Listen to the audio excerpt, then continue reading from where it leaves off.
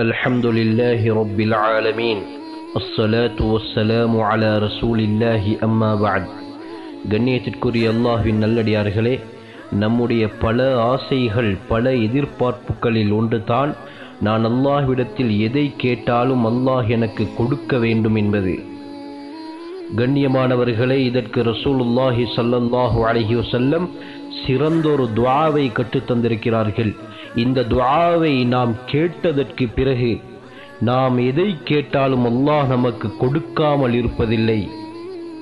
அது என்ன துவா? அதனால் என்ன பலன் கிடைக்கும் என்று பார்ப்பதற்கு முன்னால் நம்முடைய சேனலை சப்ஸ்கிரைப் செய்யாமல் பார்த்து கொண்டிருப்பவர்கள் மறக்காமல் சப்ஸ்கிரைப் பட்டனை பிரஸ் செய்து பக்கத்தில் இருக்கக்கூடிய பெல் ஐகானில் உள்ள ஓல் என்பதையும் கிளிக் செய்து கொள்ளுங்கள்.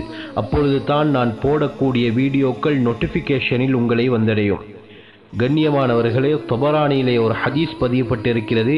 ஹசன் ரஹ்மத்துல்லாஹி அலேஹி கூறுகிறார்கள் சமுரத்திபுர் ஜுந்து பிரதியுல்லாஹ் அன்ஹு அவர்கள் கூறுகிறார்கள் ألا أحدثك حديثا سمعته من رسول الله صلى الله عليه وسلم மிராரன் சமுரத்தின் ஜுந்து ரதியல்லான் அவர்கள் ஹசன் ரஹமத்துல்லாஹ் அலைஹி அவர்களை பார்த்து சொன்னார்கள் நபி அவர்களிடத்திலே பல தடவை வமின் அபி பக்ரின் மிராரன் அபூபக்கர் ரதியல்லா அவர்களிடத்திலும் பல தடவை வமின் உமர மிராரன் உமர் ரதியல்லா அவர்களிடத்திலும் பல தடவைகள் கேட்ட ஒரு ஹதீஸை உமக்கு நான் அறிவிக்கட்டுமா என்று கேட்டார்கள். அதற்கு நான் பலா அவசியம் சொல்லித்தாருங்கள் என்று சொன்னேன். அதற்கு அவர்கள் மன் கால இதா அஸ்பஹ வைதா அம்சா.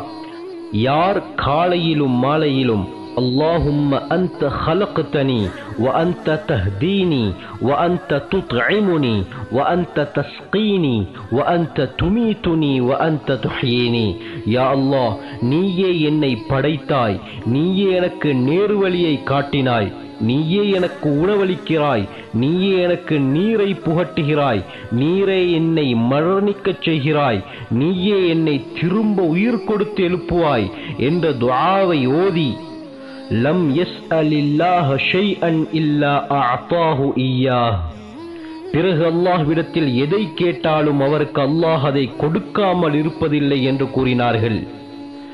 கண்ணியமானவர்களே அப்துல்லா பின் சலாம் ரதி அல்லாஹ் அவர்கள் கூறுகிறார்கள் கான மூசா அலைஹி சலாம் யதுஉ பிஹின்ன ஃபீ குல்லி யௌமின் சபஅ மிராரின் ஃபலா யஸ்அலுல்லாஹ ஷைஅன் இல்லா அஅதாஹு இய்யாஹ் மூசா அலை இஸ்லாம் அவர்கள் தினமும் இந்த துவாவை ஏழு முறை கூறி துவா கேட்டு வந்தார்கள். எனவே அவர்கள் எதை அல்லாஹ்விடத்தில் கேட்டார்களோ அதை அவர்களுக்கு அல்லாஹ் கொடுக்காமல் இருந்ததில்லை.